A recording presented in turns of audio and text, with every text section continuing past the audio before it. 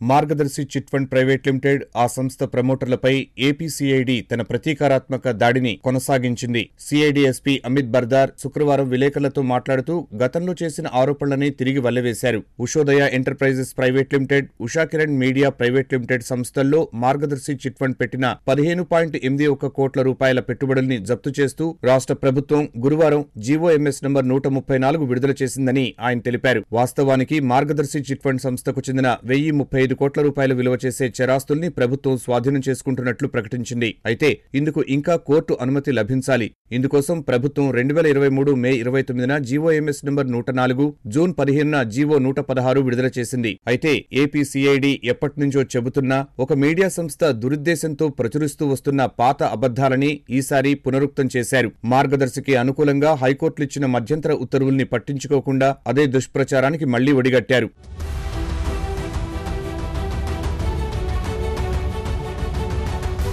ఏపీసీఐడి దురుద్దేశపూర్వకంగా చేసిన ఆరోపణల్ని నిర్ద్వంద్వంగా ఖండిస్తున్నామని మార్గదర్శి chit fund సంస్థ శుక్రవారం ఓ ప్రకటనలో తెలిపింది. ఎక్కడా ఒక్క ఎగవేతకు అక్రమానికి తావీయకుండా దశాబ్దాలుగా విజయవంతంగా కొనసాగుతున్న వ్యాపారాన్ని కూల్చే ఎత్తుగడలో భాగంగా సంస్థ ప్రతిష్టను దెబ్బతీయడం చందాదారుల్ని భయభ్రాంతులకు గురిచేయడం ఈ అవాస్తవాల వెనుక అసలు లక్ష్యమని తెలిపింది. మార్గదర్శిని వాస్తవాలతో ఎదుర్కోలేక రాష్ట్ర ప్రభుత్వం సిఐడి విభాగం ద్వారా మీడియాలో తప్పుడు ప్రచారానికి పాల్పడుతూ ప్రజల్ని ముఖ్యంగా చందాదారుల్ని అయో అయోమయానికి గురి చేస్తోందని పేర్కొంది. ఎలాగైనా మార్గదర్శిపై కక్ష సాధించాలన్న తొందరలో రాష్ట్ర ప్రభుత్వం సంస్థ చరాస్తుల్ని జప్తు చేస్తున్నట్టు ప్రకటించిందని ఫిక్స్డ్ డిపాజిట్లు తదితర పెట్టుబడుల రూపంలో ఉన్న ఈ చరాస్తులు కంపెనీ ఆరు దశాబ్దాలుగా గడించిన లాభాలతో సమకూర్చుకున్నవే తప్ప ఒక్క పైసా కూడా చందాదారుల చందా నుంచి తీసుకున్నది కాదని స్పష్టం చేసింది.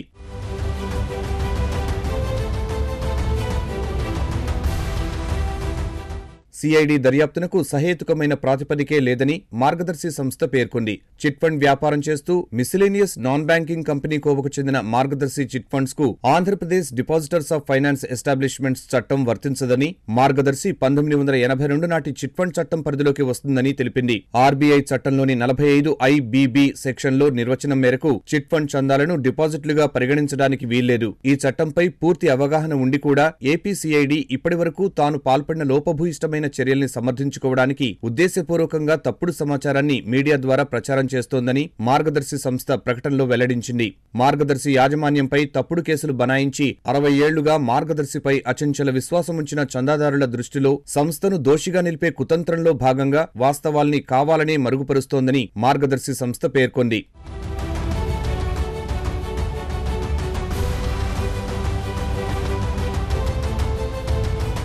ఆంధ్రప్రదేశ్ ప్రభుత్వ ప్రోద్బలంతో రిజిస్ట్రార్లు రాష్ట్రంలో ఎలాంటి ఫిర్యాదులకు తావీయకుండా విజయవంతంగా నడుస్తున్న చిట్ గ్రూపులకు వ్యతిరేకంగా నిలిపివేత ఆదేశాలిచ్చారు. తాము పొదుపు చేసుకున్న సొమ్ము భవితవ్యం ఏంటన్న బెంగతో చందాదారులు సంస్థను ఆశ్రయించి రిజిస్ట్రార్ల ఆదేశాలను హైకోర్టులో సవాల్ చేసేందుకు సమాచారం అందించాల్సిందిగా కోరారు. చిట్ గ్రూపుల నిలిపివేత ఆదేశాలు తమ ప్రయోజనాలకు తీవ్రంగా విఘాతం కలిగిస్తాయని ఒక పథకం ప్రకారం జరుగుతున్న ఈ దాడిలో అంతిమంగా తాము సమిధులమవుతామని గుర్తించిన చిట్టి పాడుకోని చందాదారులు న్యాయం కోసం ఆంధ్రప్రదేశ్ హైకోర్టు తలుపులు తట్టారు. తమ సొమ్మును మార్గదర్శి సంస్థ నిర్వహణలోనే ఉంచాలని అభ్యర్థించారు.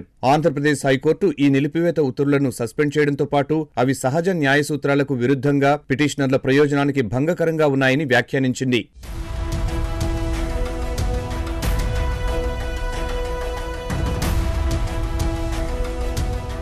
ఏపీ హైకోర్టు వెల్లడించిన మధ్యంతర ఉత్తర్వుల కారణంగా కోపోద్రిక్తులైన సిఐడి అధికారులు నిలిపివేత ఆదేశాలను సవాల్ చేసిన చందాదారులను బెదిరించడంతో పాటు వారిపై దౌర్జన్యానికి దిగినట్టు తెలిసింది. భారత రాజ్యాంగం కల్పించిన మౌలిక హక్కులకు విఘాతం కలిగిస్తూ చందాదారుల వ్యాపారం వృత్తి ఆదాయ మార్గాలు కేవైసీ తదితర వ్యక్తిగత సమాచారం కూడా కోరుతున్నారు. ఈ కేసు దర్యాప్తు పరిధిలో లేని ఆదాయ పన్ను జీఎస్టీ వంటి విషయాల సమాచారం కూడా ఇవ్వాల్సిందిగా చందాదారుల్ని బలవంత పెడుతున్నారు. ఆంధ్రప్రదేశ్ ప్రభుత్వ పరిధిలో పనిచేస్తున్న సంస్థలన్నీ ఈ చందాదారుల్ని వేధింపులకు గురి చేస్తున్నాయి. నిలిపివేత ఆదేశాల్ని సవాల్ చేస్తూ తాము సమర్పించిన పిటిషన్లను వెనక్కు తీసుకునేలా కొందరిపై ఒత్తిడి చేశారు.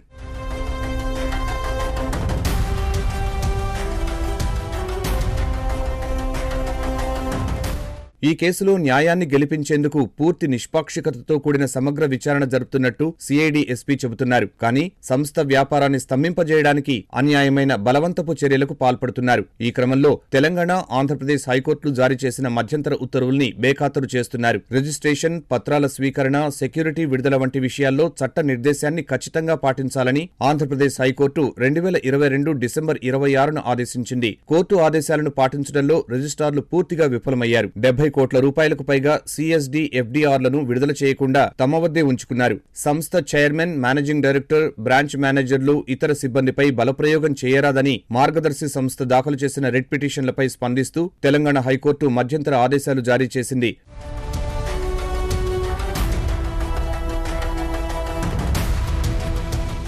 మార్గదర్శి సంస్థ దాని బ్రాంచీలు నిర్వహించే దైనందిన కార్యకలాపాలకు అవరోధం కల్పించవద్దని ప్రతివాది అయిన ఏపీసీఐడిని ఆదేశిస్తూ తెలంగాణ హైకోర్టు మరో రిట్ పిటిషన్కు అనుకూలంగా మధ్యంతర ఉత్తర్వులు ఇచ్చింది. పైన అభియోగించిన నేరాలకు సంబంధించి భవిష్యత్తులో ఎప్పుడు సోదాలు నిర్వహించినా పిటిషనర్ కంపెనీకి సంబంధించిన బ్రాంచ్ కార్యాలయాల మెయిన్ గేట్లు మూయవద్దని కూడా కోర్టు ఆదేశించింది. ఈ కేసుపై మీడియా విచారణకు పాల్పడవద్దని రెండు వేల ఇరవై మూడు జూన్ ఇరవై ఆరున తెలంగాణ హైకోర్టు పేర్కొంది.